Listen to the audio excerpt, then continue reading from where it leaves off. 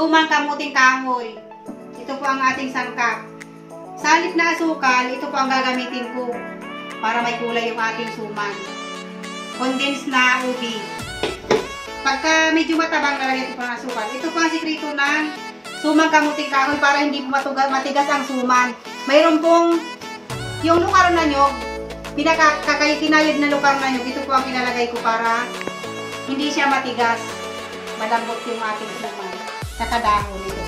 Yan lang po ang sangkap ng ating kamuting kahoy na suman. Tatlong kilo po itong kamuting kahoy ko na binili. Yan.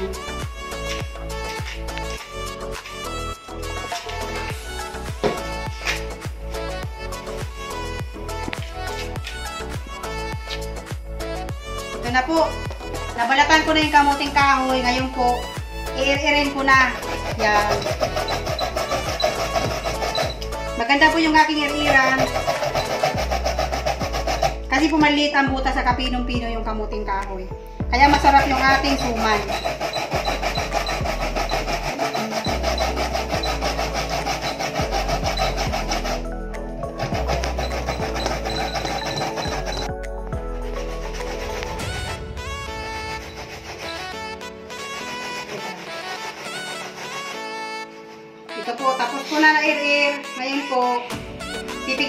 Kasi po, minsan may mapait na kamuting kahoy. Kailangan po mawala yung katas. Kaya pipigaan ko po muna bago ko balutin. Ito na po, napigaan ko na yung ating kamuting kahoy. At ilalagay ko na po ang new. Lukaron po ito yung magulang na pwede pang salad yan. Masarap ang madaming ano, lukaron.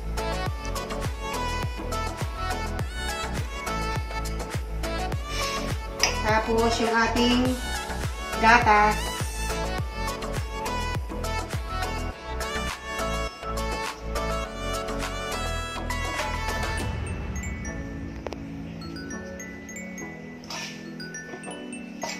Ang bango.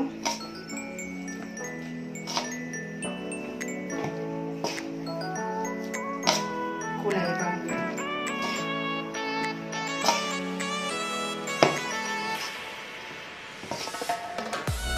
Dami po ng tatlong kilong kamuting kahoy. Oh.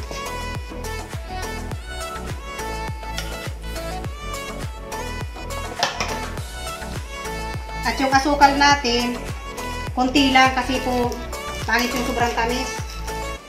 Kasi may gatas na tayo. Yung gatas po na yun, matamis na yun eh. Yan, yan lang po yung asukal natin.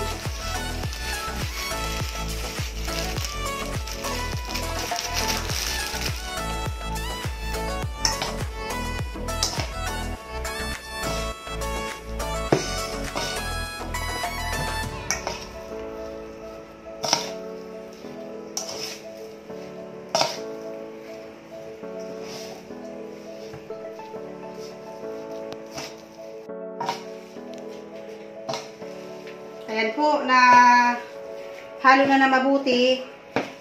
Ngayon po, tayo ay magbabalot na. Ganda po, no? Atin na babalutin.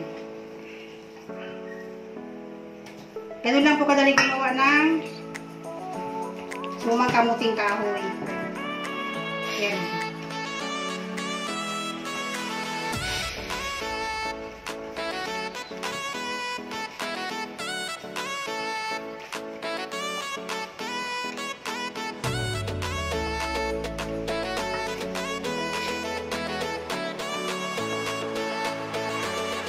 Gagawa naman tayo ng masarap na merienda.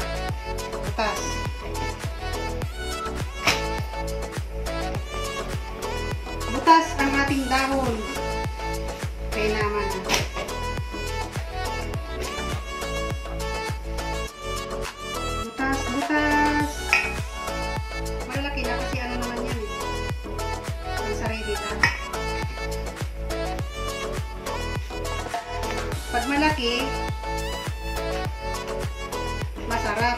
Kasi busog ka Kasi isa pa lang, busog ka na eh.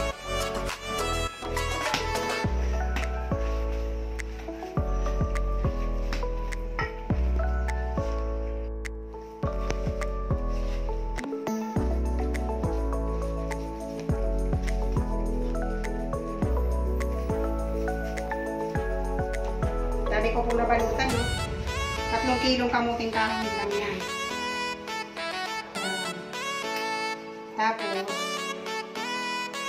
i-steam po natin ng 45 minutes. I-steam po natin yung palakihan. Ito na po, nabalot ko ng lahat. I-steam ko lang po ito.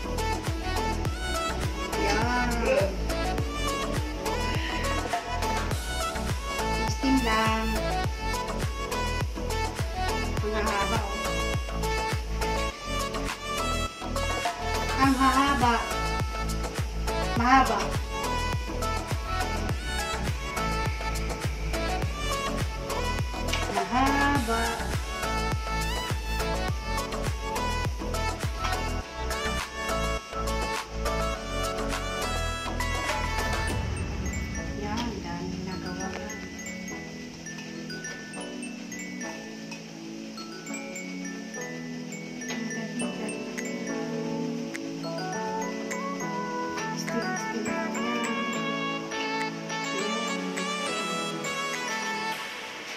Pati natin magsasala.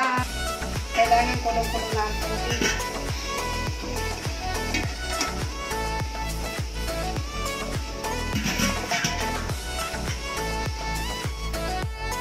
Yaho mga kauragon, ito na yung ating finished product ng aking sumang kamuting kahoy.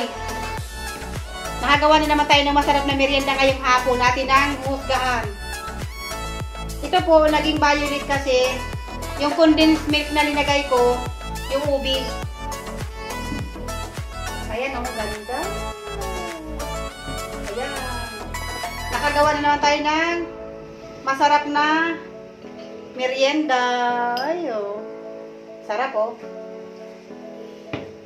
Yan po. Kulay violet siya kasi yung gatas na linagay ko violet. Mainit pa. Hmm.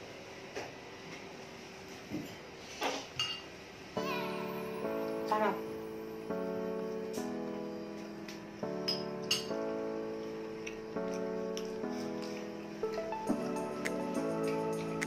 Kahit po ito malamig na, hindi siya matigas kasi po, mayroong kinayod na nyog.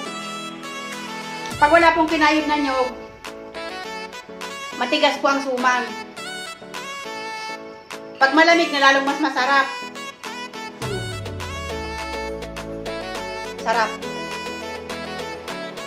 Na po ang dami kong nagawa.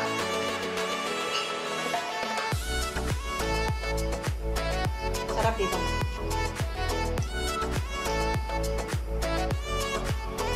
Tama-tama po ito ngayon kasi maulan. Tapos may kape. Tamang-tamang merienda, masarap.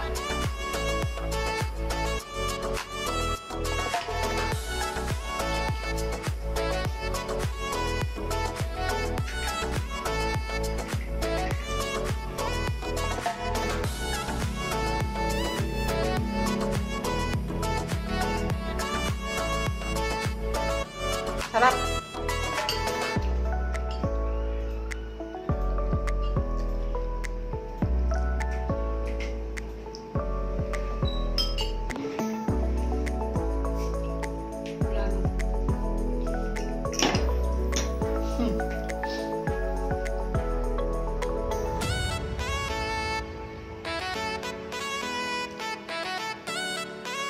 Isang piraso lang po, busog ka na.